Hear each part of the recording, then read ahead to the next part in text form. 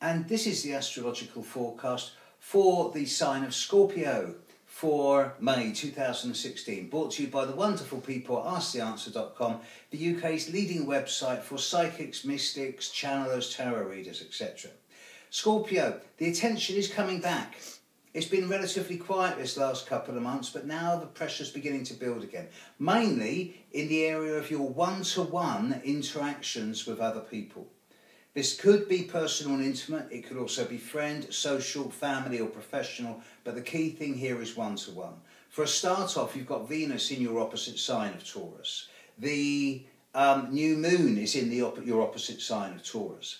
Mercury is retrograde in your opposite sign of Taurus. All of this suggests that one to one situations are going to be pretty big, pretty serious this month, but you're not going to get clarity you're not going to get clear answers. So bide your time. There's no point in jumping to conclusions or rushing for quick solutions at the moment because they won't work out the way you expect. Wait. Wait until June or ideally July because from then on, energy is working much more in your favour. Mars is going to be going retrograde back into Scorpio. He re enters your sign around the 27th 28th of this coming month. And during June and July, you're going to find that you've got a lot more physical energy than you have at the start of this month. So, once again, I stress no rush, no need to make anything happen too fast.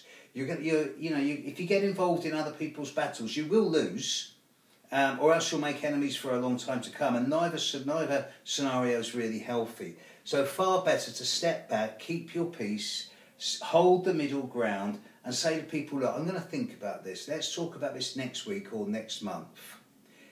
This is a pretty challenging month, not big time, but at the day by day level. Hold, hold the centre ground.